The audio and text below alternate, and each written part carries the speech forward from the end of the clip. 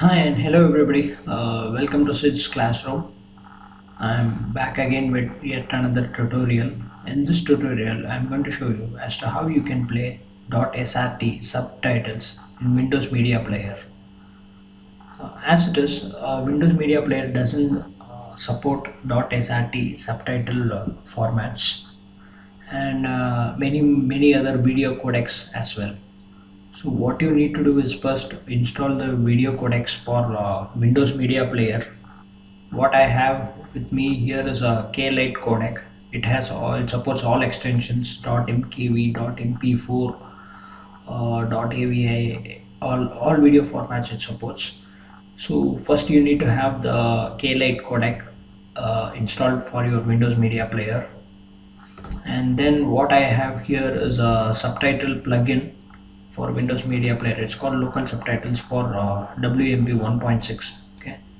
So if you scroll down, you can see here you have uh, two versions available based upon your uh, operating system bits. One is a 32-bit option and another is a 64-bit option. Uh, download and install whichever one is preferable for you. Okay and as it is I have got uh, this plugin installed already. Uh, just for sake of the reference I have enclosed the link in the description with this video as well.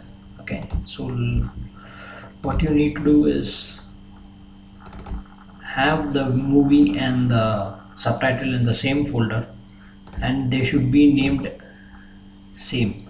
Say for example if I have here gone in 60 seconds.mkv the subtitle file also should be gone in 60 seconds.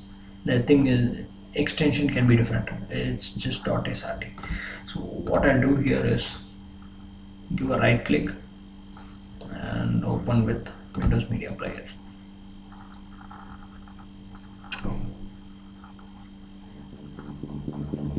ah, ah, ah.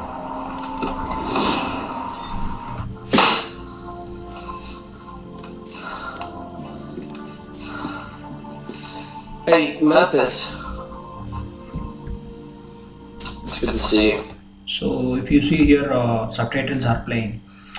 Uh, I have heard some people tell uh, telling me that uh, Windows Media Player doesn't support .srt especially with .mp4 so I have another mp4 file here with the .srt extension. As I told earlier you should have the same uh, file names one to one otherwise this doesn't work. Okay so let me again open it with uh, Windows Media Player.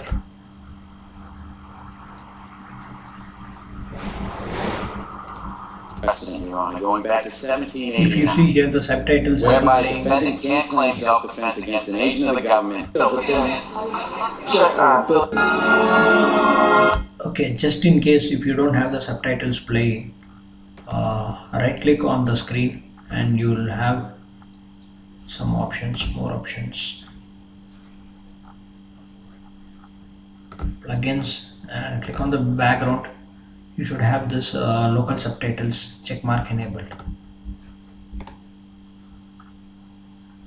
And even if that is uh, check marked uh, right click on the screen lyrics captions and subtitles it should be selected to default.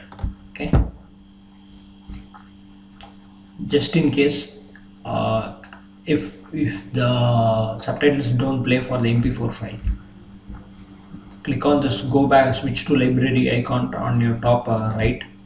You can see here switch to library.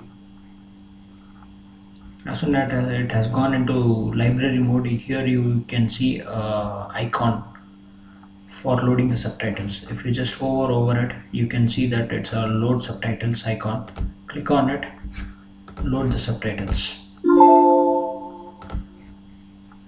so mine is already loaded The That is why economic got it. modalities, especially in the southern colonies, could most aptly be characterized as agrarian free capital. Of course that's it. Hang on a That's second. You're a first year grad student. You just got finished reading some Marxian historian, or Pete Garrison probably. You're gonna be convinced that that till next month when you get to James Lemon, then you're gonna be talking about how the economies of Virginia and Pennsylvania.